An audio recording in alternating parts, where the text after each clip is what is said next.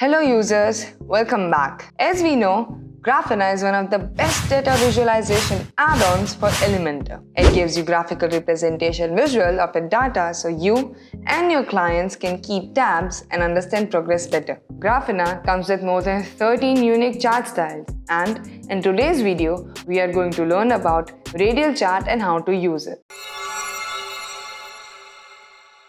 So let's have a look. We have already discussed about all the primary customization options in the previous video and to view them, you can click on the I button, open Graphina, then drag your radial chart to your page. Go to chart settings. Here, you have multiple options. You can resize your card from here by changing the values. You can also turn the toolbar on and off.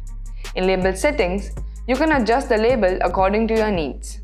In plot settings, you can make the line cap stroke rounded.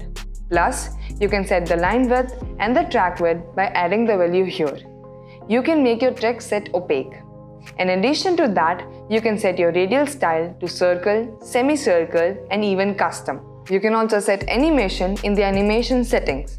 You can add your speed and delay by adding value to this box. In the elements category, you can add label and value by adding the value here. That's all for radial chart. Now, you can add your data and see the results. To know more about Graphina, click on the I button. To get Graphina and other such products, you can go to the link in the description. Graphina. Graph your destiny.